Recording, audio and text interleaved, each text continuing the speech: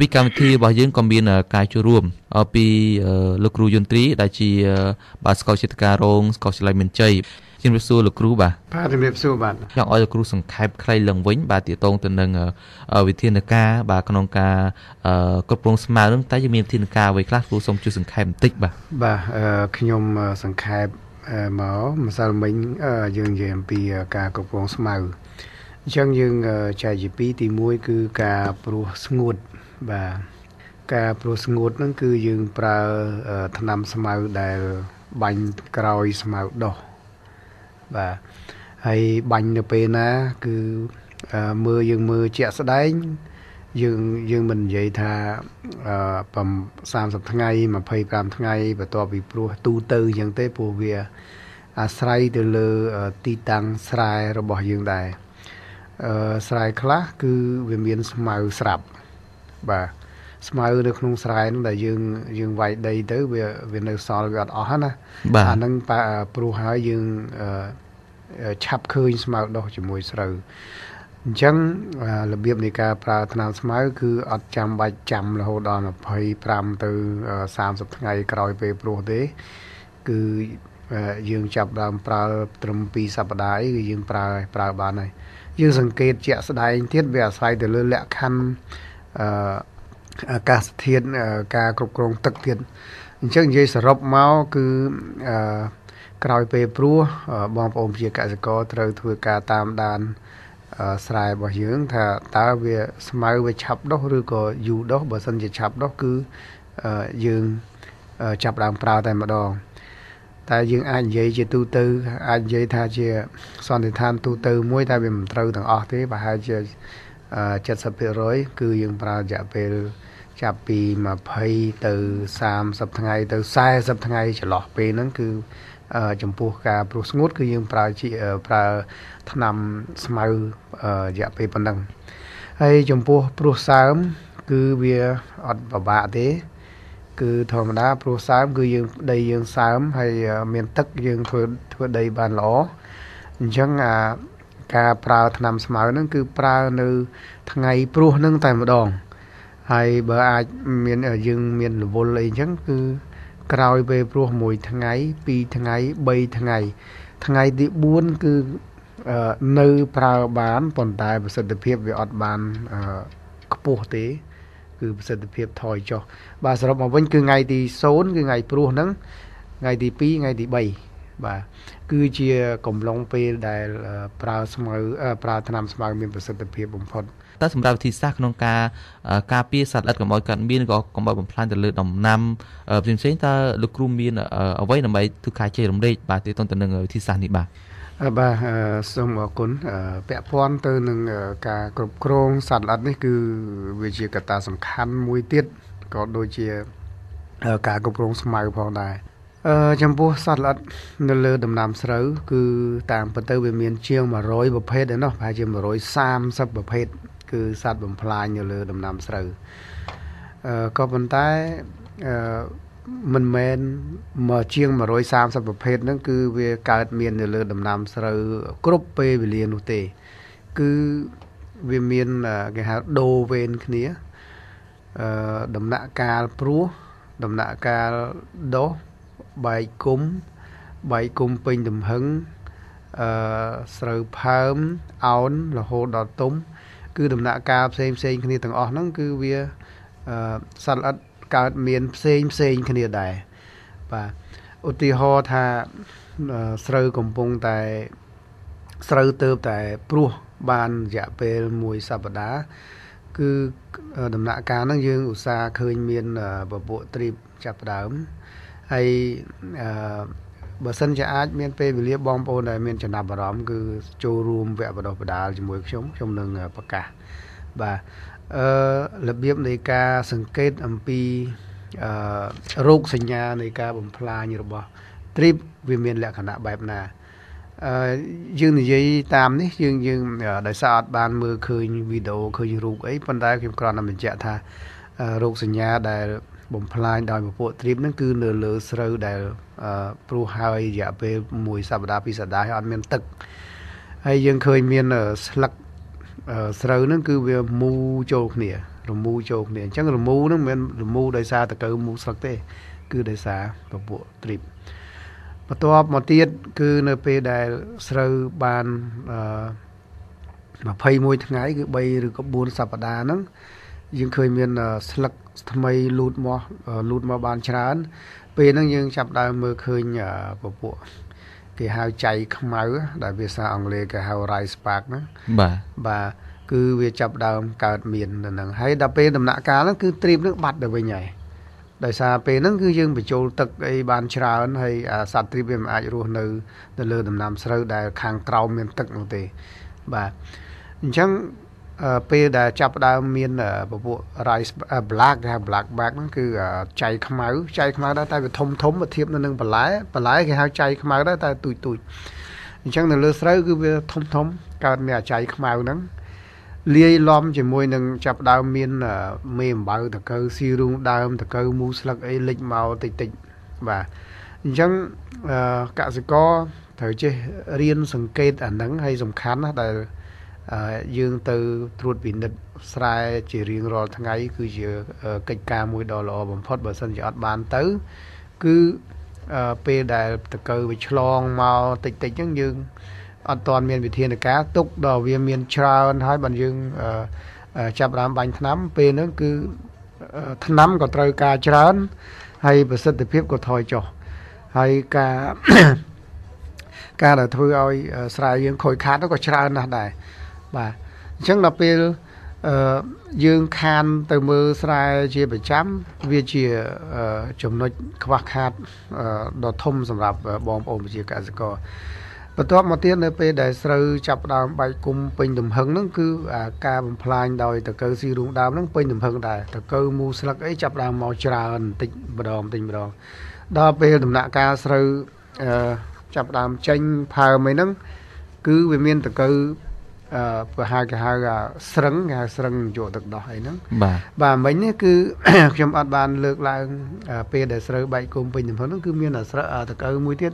គេហៅពពួកមមេឃថ្នោតណាបាទអាហ្នឹងគឺច្រើនហើយវាផ្លាស់ប្ដូរចេះបើសិនជាមមេឃថ្នោតមានច្រើន គឺអាតកៅស៊ីរូងដើមតកៅមូស្រុកអត់សូវមានទេបាទហើយបើពេលដែលអត់មាន វត្តមានមមេឃថ្នោតគឺរូងដើមហើយនឹងមូស្លឹកហ្នឹងគឺដើរតួសំខាន់បំផ្លាញលើដំណាំស្រូវ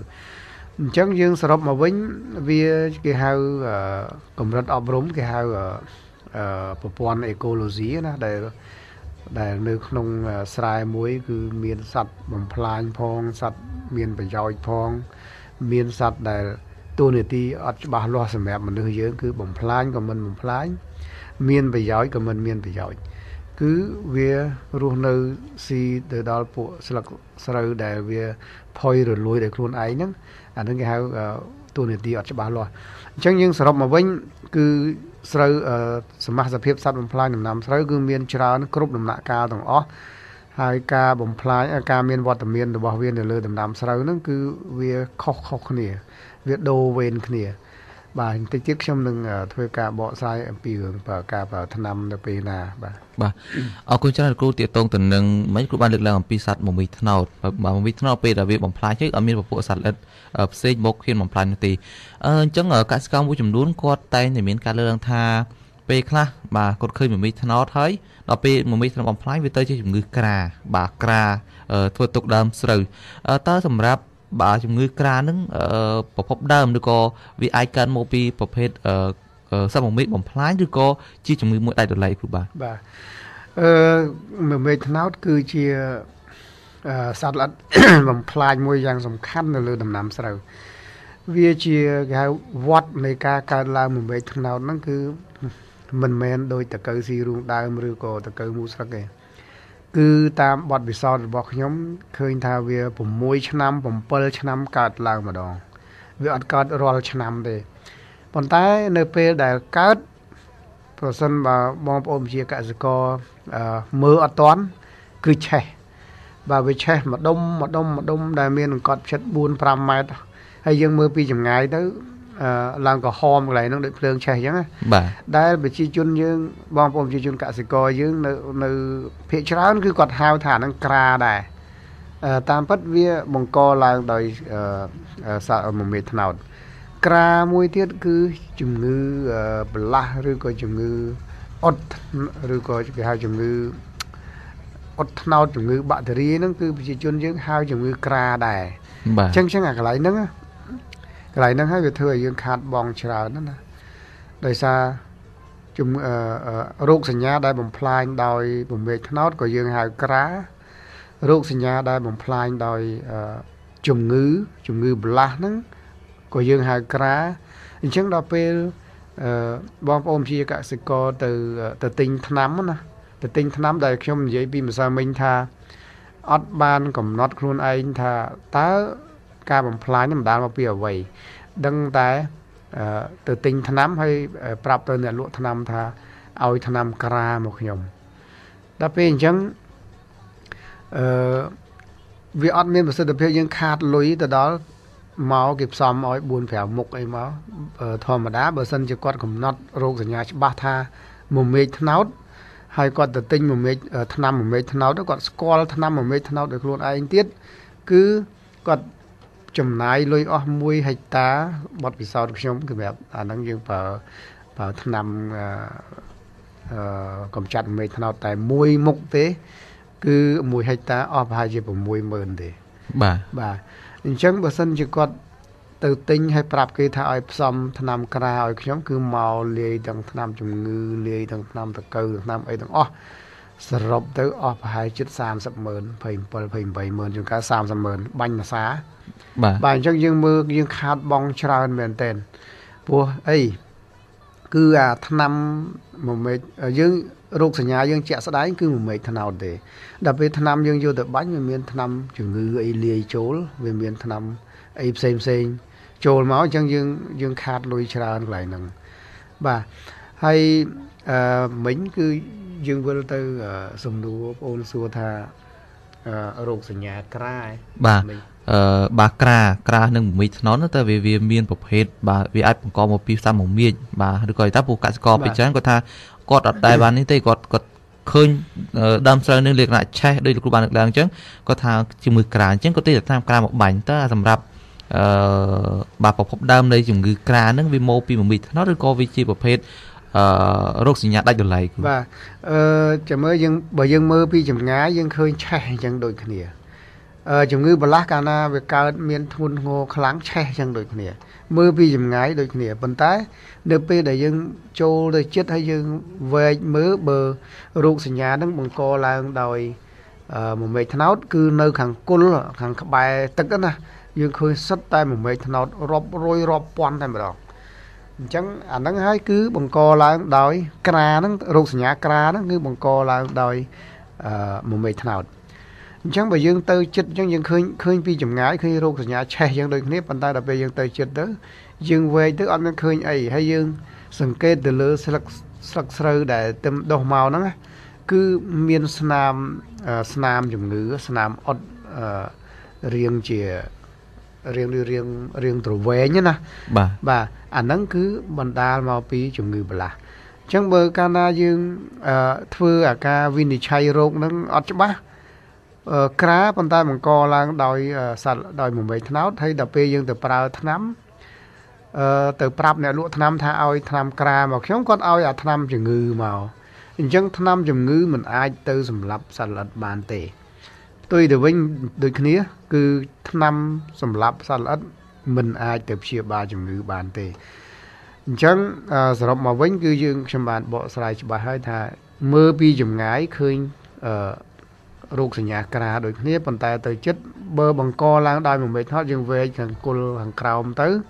គឺយើងនឹងឃើញមួយមេឃថ្នោតរាប់ពាន់រាប់លានតែម្ដងនៅក្នុងនៅនៅ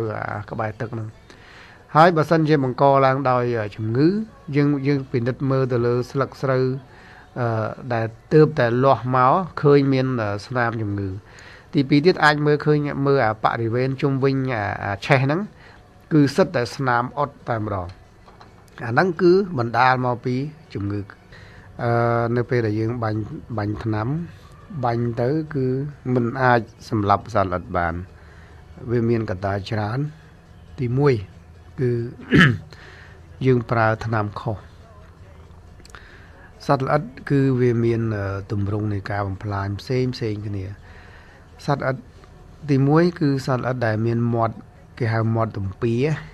វាស៊ីស៊ីស្លឹកស្រូវអញ្ចឹងទៅស៊ីតាពីដូចគោអញ្ចឹងស៊ីអាស្លឹកហ្នឹងតាពីស្លឹកហ្នឹងចូលទៅក្នុងពោះវា ហើយយើងឃើញរោគសញ្ញាគឺស៊ីដាច់មកស្នាមដាច់ស្លឹកមួយស្លឹកពីរស្លឹកអញ្ចឹងណាបាទអាហ្នឹងគេហៅសត្វល្អិតទំពាអឺទី2គឺពពួកសត្វល្អិតដែលវាប្រើមាត់វាអឺចាក់ចូលទៅក្នុងស្លឹករុក្ខជាតិហើយបឺតសារធាតុចិញ្ចឹមមកអាហ្នឹងករណីហ្នឹងគឺយើងអត់មានឃើញរោគសញ្ញាស៊ីដាច់ស្លឹកដូចអាពួកមាត់ទំពាទេគឺអាមាត់បឺតជញ្ជក់ណាបាទ អញ្ចឹងអឺបើសិនជាវាមានទម្រង់មាត់បែបហ្នឹងគឺការប្រើថ្នាំគឺវាខុសមានប្រភេទផ្សេងផ្សេងគ្នាដែរមិនមែនគ្រប់គ្រប់សត្វល្អិតទាំងអស់យើងប្រើថ្នាំតែមួយទេអញ្ចឹងនិយាយត្រឡប់អំពីថ្នាំវិញថ្នាំគឺវាមានថ្នាំសម្រាប់មុខសញ្ញាដែលទំពាអញ្ចឹងឧទាហរណ៍ថា ឥឡូវតកៅមូស្លឹកដែលវាស៊ីនៅលើស្លឹកហ្នឹងអញ្ចឹងដើម្បីប្រើអាហ្នឹងដើម្បីកម្ចាត់អាតកៅមូស្លឹកហ្នឹងគេត្រូវប្រើអាថ្នាំដែល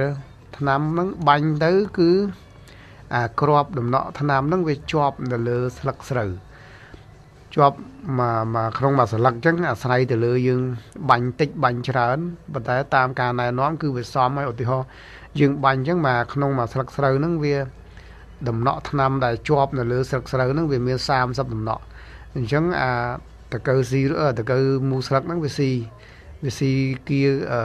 អាស្នាមគេហៅអាសារធាតុពណ៌បៃតងនៅលើស្លឹកស្រូវហ្នឹងអញ្ចឹងស៊ីទៅវាដោយឧទាហរណ៍ដោយថ្នាំយើង5 6ដំណក់ចូលទៅធ្វើឲ្យវាងាប់បាទអញ្ចឹងថ្នាំហ្នឹងគឺគេហៅថាអឺ Stomet insecticide ភាសាអង់គ្លេសណាដែលយើងប្រើថាថ្នាំដែលមានជាតិពុលយើងប្រើយើងប្រើជាបដអសន្នថាយើងចោះថ្នាំដែលមានជាតិពុលគឺសំដៅទៅលើថ្នាំពុលដែលបាញ់ទៅ គឺដំណក់ថ្នាំហ្នឹងជាប់នៅលើស្លឹកស្រូវហើយចំពោះដង្កូវដែលមានមាត់គេហៅមាត់ទំពាដែលស៊ីស៊ីអស់ស៊ីអាស្លឹករុក្ខជាតិចូលនៅក្នុងពោះវាតែម្ដងណាបាទអញ្ចឹង ចំពោះតកៅបែបហ្នឹងគឺគេប្រើថ្នាំដែលមានជាតិពុលដែលគេហៅបាញ់ទៅថ្នាំទើនៅលើស្លឹកហើយតកៅស៊ីស្លឹកហ្នឹងធ្វើឲ្យថ្នាំចូលទៅក្នុងខ្លួនវាហើយវាងាប់តែម្ដងចំពោះប្រភេទដែលបឺតដែលមាត់វាបឺតជញ្ជក់មាត់វាចាក់ចូលក្នុងស្លឹកស្រូវហើយបឺតរុក្ខរសគេហៅបឺតសារធាតុចិញ្ចឹមពីក្នុងហ្នឹងណាអាហ្នឹងយើងមើលរោគរោគសញ្ញាអត់ឃើញដាច់អីចឹងទេ គឺឃើញតែអឺ កាលណាវាបឺតខ្លាំងទៅបឺតអស់ទៅធ្វើឲ្យស្លឹកស្រូវបាត់ពណ៌បៃតង ទៅជាពណ៌លឿងម្ដងម្ដងយូរបន្តិចម្ដងបន្តិចម្ដងយូរយូរទៅជាឆេះយើងមើលពីចម្ងាយណាអាហ្នឹងមួយមេឃថ្នោតអញ្ចឹងក្នុងករណីហ្នឹងសួរថាបើយើងប្រើថ្នាំពុលហៅអង់គ្លេសហៅ Stomet insecticide ហ្នឹងបាញ់ទៅដំណក់ថ្នាំហ្នឹងវានៅលើស្លឹកហើយដល់ពេលអាអាមេឃថ្នោតវាបឺតបឺតរុក្ខរសនៅខាងក្នុង អញ្ចឹងថ្នាំហ្នឹងមិនមានប្រសិទ្ធភាពទេទោះបីយើងបាញ់ក៏ដោយអញ្ចឹងដើម្បីឆ្លើយនឹងសំណួរហ្នឹងខ្ញុំត្រូវបកស្រាយច្រើនមែនតែខ្ញុំបកស្រាយដើម្បីឲ្យងាយយល់ណាអញ្ចឹងនៅពេលដែលអឺអឺចំពោះមេឃថ្នោតបំផ្លាញគឺយើងត្រូវមានប្រភេទថ្នាំផ្សេងទៀតគេហៅ systemic insecticide គឺថ្នាំជ្រាបមានថា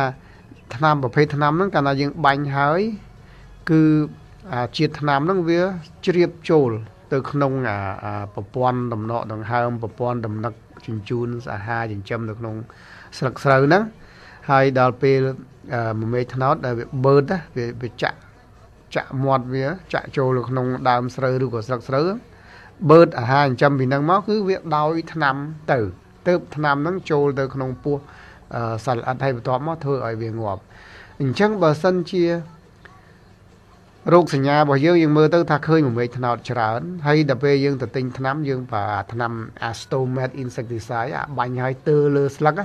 អានឹងมันអាចកម្ចាត់មួយមេឃថ្នោតបានទេអញ្ចឹងនិយាយទៅគឺរោគសញ្ញាទី1គឺហេតុអីបានយើងបាញ់ថ្នាំហ្នឹងទៅហើយសត្វអត់អត់ងាប់គឺកតាមិញហ្នឹងមិញហ្នឹងវាអាចមកពីខុសថ្នាំ វាអាចមកពីព្យាករខុសបាទបាទអាហ្នឹងកតាមួយ កត្តាមួយទៀតយើងឃើញរោគសញ្ញាហ្នឹងមិនមែនថ្នោតដែរហើយយើងទិញថ្នាំមកគឺថ្នាំជ្រាបហើយត្រូវថ្នាំហើយព្យាកររោគវិនិច្ឆ័យក៏ត្រូវដែរប៉ុន្តែអាការបាញ់របស់យើងហ្នឹងវាខុសគេហៅខុសរបៀបជាទូទៅមួយមេឃថ្នោតមិនស្ថិតនៅវត្តមានរបស់វាមិនស្ថិតនៅលើស្លឹកទេ គឺវាតោងជាប់ដើមអញ្ចឹងអឺ ប្រសិនបើយើងបាញ់ទៅបច្ចេកទេសបាញ់យើងបាញ់តែពីលើ គឺថ្នាំហ្នឹងវាពិបាកនឹងជ្រាបទៅដល់គ្រប់គ្រប់គេហៅដល់គុល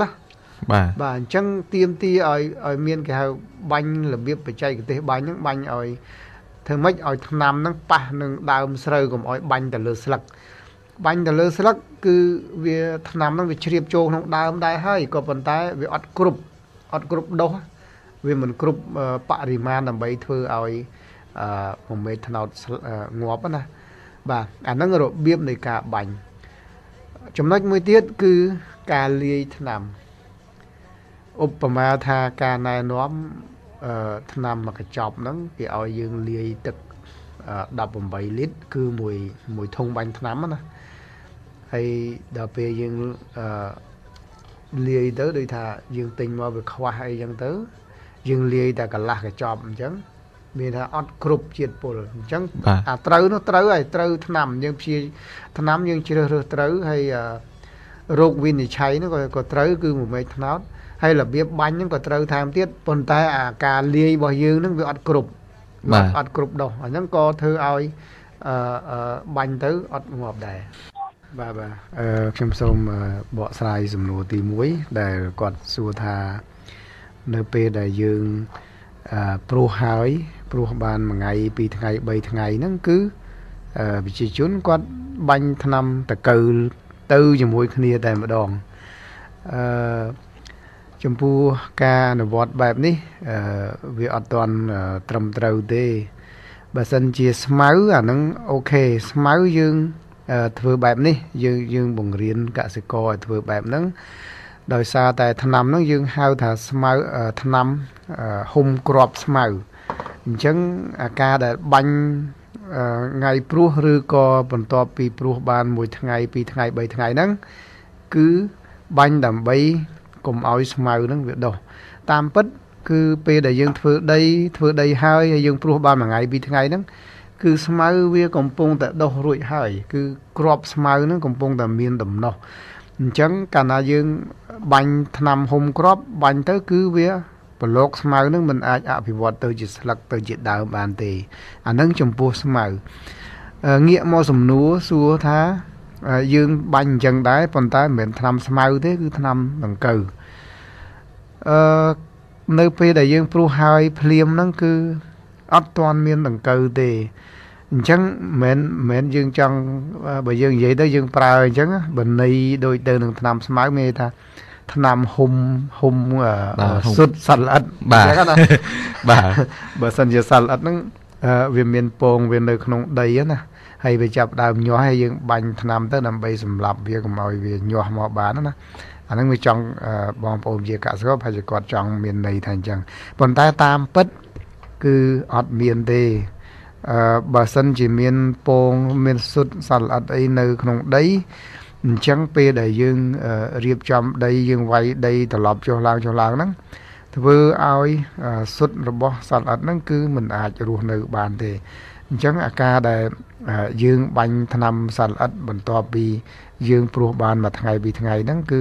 មិនមែនជាជំរើសត្រឹមត្រូវទេបាទយើងសូមធ្វើការតាមដានវារហូតដល់ មួយសប្តាហ៍ពីរសប្តាហ៍បីសប្តាហ៍សង្កេតជាក់ស្ដែងមើលទៅថាតើនៅលើស្រូវយើងមានដង្កូវអ្វីអត់បើសិនជាអត់មានទេ យើងមិនចាំបាច់បាញ់ថ្នាំទេព្រោះវាខុសអំពីស្មៅស្មៅក្របស្មៅវាតូចតូចនៅក្នុងដីតោះតែយើងប្រើម៉ៃក្រូស្កូបទៅយើងមើលវាឃើញ បើយើងមើលដោយភ្នែកទៅទេ គឺយើងឃើញតែដីទេឃើញតែដីទៅទេគឺអត់មានឃើញស្មៅទេទាល់តែក្របស្មៅនឹងដុះចេញមកអភិវឌ្ឍទៅជាដើមទៅជាស្លឹកអាហ្នឹងទើបយើងមើលឃើញបាទអញ្ចឹងត្រឡប់មកវិញ គឺបងអូនសួរថាអឺបាញ់ថ្នាំសត្វល្អិតក្រោយពេលព្រោះបានមួយថ្ងៃពីរថ្ងៃ3ថ្ងៃហ្នឹងគឺត្រឹមត្រូវដែរទេអញ្ចឹងចម្លើយគឺអ ត់សមស្របទេបាទថ្នាំហ្នឹងប្រើនៅពេលដែលយើងសង្កេតជាក់ស្ដែងថាមានដង្កូវបំផ្លាញទើបយើងធ្វើការបាញ់ថ្នាំដង្កូវបាទបាទអញ្ចឹងមានន័យថាយើងពិនិត្យមើលជាស្ដែងបើសិនតែមានវត្តមានសត្វល្អិតឬក៏ដូចជាដង្កូវបានយើងប្រើប៉ុន្តែបើយើងប្រើក្នុងកំឡុងពេលហ្នឹងវាអត់វាអត់មានវាថា ខាត់បងថាវិការដោយសារតែពេលខ្លះតកលវាអត់មានអញ្ចឹងអឺលោកគ្រូចង់បញ្ជាក់ថាកត្តាសំខាន់គឺយើងត្រូវពិនិត្យមើលឲ្យបានដល់ថាតើវាមានវត្តមានតកលអត់បើមានចាំយើងធ្វើការបាញ់តែម្ដងណាគ្រូបាទខ្ញុំសូមបញ្ជាក់ជូនបន្តិចទៀតថាអឺបច្ចុប្បន្នគឺយើងកំពុងតែអនុវត្តកម្មវិធី IPM Integrated Pest Management គឺខ្មែរយើងហៅថាវិធានការចម្រុះ គ្រប់គ្រងសត្វល្អិតបើសិនជាប្អូនចង់មានការយល់ដឹងឲ្យជ្រៅជាងនឹងទៀតគឺឆ្នាំនេះក្នុងកំឡុងខែ4នេះហ្នឹងលោកគ្រូចាប់ដើមធ្វើអឺស្រែធ្វើស្រូវនៅបាត់ដំបង2ហិកតា ហើយអនុវត្តកម្មវិធី IPM ហ្នឹងលោកគ្រូនឹងនឹងបង្ហាញជូនអំពីបច្ចេកទេសលម្អិតអំពីរបៀបគ្រប់គ្រងសត្វល្អិតដ៏មានប្រសិទ្ធភាព បាទអញ្ចឹងយើងបន្តទៅសំណួរមួយទៀតមិញលោកពូនៅខាងអូជ្រៅក៏បានសួរសំណួរមួយថាអឺដីយើងភ្ជួរយូរហើយនឹងដីយើងភ្ជួរហើយយើងប្រើថ្នាំបាទ គាត់ប្រហែលជាគាត់អាចចង់និយាយថាគ្រប់គ្រងស្មៅតើគាត់ចង់សួរថាតើសម្រាប់ពេលវេលាហ្នឹងយើងយើងប្រើមួយណាដែលមានប្រសិទ្ធភាពបាទក្នុងការគ្រប់គ្រងស្មៅទាំងយើងភ្ជួរយូរយើងអត់តន់ប្រើទេហើយនៅពេលយើងអាចទៅពេលភ្ជួរថ្មីថ្មីគាត់ប្រើអញ្ចឹងវាមួយណាដែលមានប្រសិទ្ធភាពជាងក្នុងការគ្រប់គ្រងស្មៅបាទបាទបាទខ្ញុំខ្ញុំស្ដាប់បានប្រហែលជាខ្ញុំស្ដាប់បានសំណួររបស់គាត់គាត់សួរថាតើការភ្ជួរដីទុកយូរ ហើយនឹងការភ្ជួរដីភ្លាមព្រោះភ្លាមឬក៏ដាំភ្លាមបាទតើមួយណាប្រសើរជាង បាទបើនិយាយទៅអឺយើងភ្ជួរទុកយូរមុន គឺវាអឺងាប់ស្មៅបានល្អជាង បាទហើយចំពោះការភ្ជួរភ្លាមព្រោះភ្លាមអាហ្នឹងបើប្រៀបធៀបទៅនឹងភ្ជួរទុកចោលគឺអាអាទុកចោលយូរល្អជាង ហើយអាភ្ជួរភ្លាម ព្រោះភ្លាមអាហ្នឹងមិនសូវល្អទេហេតុអ្វីគឺអាភ្ជួរទុកចោល គឺវាងាប់ស្មៅអស់ងាប់អស់តែម្ដងហើយដល់ពេលយើងចូលដល់សាទី2មិនយើងយើងមិនវាយដីសាទី2បាទអញ្ចឹងធ្វើឲ្យកម្រិតដីហ្នឹងវាធូរជាងវាធូរជាងអាហ្នឹងទី1ទី1ងាប់ស្មៅទី2គឺកម្រិតដីធូរជាងហើយ ទី3ហ្នឹងគឺដីហ្នឹងវាតនេបានយូរជាង បាទទី4ទៀតគឺធ្វើឲ្យរចនាសម្ព័ន្ធដីហ្នឹងវាវិលទៅរអាគេហៅអាអាសម្បូរនៅលក្ខណៈធូរហ្នឹងគឺវាអឺកើនឡើងហើយចំពោះព្យួរភ្លាមព្រោះភ្លាមអឺរឿងសំខាន់បំផុតនោះគឺដីយើងគឺអត់អត់បានពេលតនេទេព្រោះរដូវមុនយើងធ្វើមួយសាដល់ពេលយើង អឺច្រូតកាត់ហើយយើងវាយទៅយើងវាយវាទៅហើយយើងធ្វើមួយសាទី2ទៀតអញ្ចឹងបើបើគិតជាអឺប្រៀបធៀបទៅគេហៅថាកាលណាយើងយើងសិក្សាអំពីដីគឺតាមពិតដីក៏មានជីវិតដែរ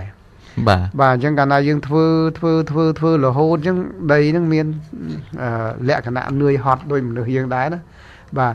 អឺទី2ទៀតអឺកាលណាយើងភ្ជួយើង ប្រមូលផលហើយវាមិននៅសល់ច្បើងនៅសល់គុលច្រាំងអីនៅក្នុងស្រែស្មៅអីហ្នឹងអញ្ចឹងយើងវាយភ្លាមភ្លាមអញ្ចឹងព្រោះភ្លាមគឺវាអត់តន់លួយបើវាអត់តន់លួយ វាធ្វើឲ្យប៉ះពាល់ខ្លះមានឧស្ម័នពុលមួយចំនួនណាណាបាទបើមានកន្លែងខ្លះបើទឹកដក់ខ្លាំងគឺធ្វើឲ្យអាស្រូវយើងនឹងងាប់ជាដុំជាដុំហ្មងណាអាហ្នឹងបើយើងវាយដីហ្នឹងវាយើងវាយស្ទើបាទអឺបើសិនជាវាយដីឲ្យម៉ត់ខ្លាំងមែនទែនទោះបីព្រោះភ្លាមព្យួរភ្លាមព្រោះភ្លាមក៏ដោយក៏វាអាចថាអឺបានល្អខ្លះខ្លះដែរ ហើយយើងបើនិយាយត្រឡប់ទៅវិញទៅថាតើយើងយើងត្រូវផ្សព្វផ្សាយឲ្យកសិករហ្នឹងត្រូវតែភ្ជួរដីចោលមិនមែនអញ្ចឹងទេ វាអាស្រ័យទៅលើគេហៅលក្ខណៈជាក់ស្ដែងណាបើសិនជាបងប្អូនធ្វើមួយឆ្នាំពីរដង3ដង គឺมันអាចទុកដីនឹងចោលបានយូរទេអឺបច្ចុប្បន្ននេះខ្ញុំឃើញច្រើនឃើញច្រើននៅគោកត្រឡប់នៅអូជ្រៅនៅខាងបាត់ដំបងនៅស្ពានស្រែងនេះគឺ តំបន់ដែលមានទឹក គឺគាត់ធ្វើរហូតដល់3ដងឯណោះគឺច្រូតហើយវាយដីព្រោះសារទី2អឺប្រមូលផលសារទី2ប្រមូលផលបាន2 3ថ្ងៃវាយដីដាក់សារទី3បាទបាទអញ្ចឹងសំណួរចម្លើយខ្ញុំឆ្លើយថាព្រោះភ្លៀមវាយព្យួរភ្លៀមព្រោះភ្លៀមហើយនឹងព្យួរដីទុក ចោលហាលដី គឺអាណាល្អជាង គឺហាលដីល្អជាងបាទអឺខ្ញុំចង់បន្ថែមបន្តិចពាក់ព័ន្ធទៅនឹងព្យាបាលការព្យាបាលសត្វល្អិតអស់សំទោសការគ្រប់គ្រងសត្វល្អិតឲ្យមានប្រសិទ្ធភាព បាទចំណុចដែលសំខាន់ជាងគេ ដែលយើងឃើញថាមានកសិករខ្លះគាត់អឺគ្រប់គ្រងសត្វល្អិតបានល្អហើយកសិករខ្លះគាត់គ្រប់គ្រងមិនបានល្អគឺទុកឲ្យតកៅបំផ្លាញស្រូវតតែមើលទៅឃើញឆេះបាទចំណុចសំខាន់គឺទី1គាត់អឺឆែកមើលគាត់តាមដានស្រូវគាត់ជាប្រចាំហើយទី2ទៀតគាត់មានចំណេះដឹងទៅលើសត្វល្អិតនឹងឯងគឺគាត់ស្គាល់តែម្ដងចំណុចទី3ទៀតគឺគាត់មានបទពិសោធន៍ថា ឥឡូវគាត់ឃើញថាវាមានគាត់ដើរទៅមកប្រាវហ្នឹងឃើញមានមេអំបៅហើ4ដល់20អញ្ចឹងទៅគាត់រៀនសង្កេតអញ្ចឹងគាត់ថាបើ20ដើរទៅអញ្ចឹងមានរហូតដល់20គឺមួយសប្តាហ៍ក្រោយមកស្រូវគាត់គាត់ជាមានច្រើនហើយបាទអញ្ចឹងគាត់ត្រូវបាញ់ថ្នាំអញ្ចឹងខ្ញុំសូមឲ្យបងប្អូនជាកសិករនឹងរៀនរៀនអាហ្នឹងរៀនសង្កេតអាហ្នឹងបើចង់គ្រប់គ្រងស្រូវឲ្យបានល្អ ហើយបើមានចំណាប់អារម្មណ៍គឺនៅខែ4នេះគឺខ្ញុំនឹងរៀបចំវគ្គបដិបដាលអំពីការគ្រប់គ្រងសត្វល្អិតបាទអញ្ចឹងខ្ញុំសូមជាទីបញ្ចប់ខ្ញុំសូមជូនពរបងប្អូនជាកសិករឲ្យមានសុខភាពល្អហើយបង្កើនបង្កបង្កើនផលទទួលបានជោគជ័យបាទសូមអរគុណ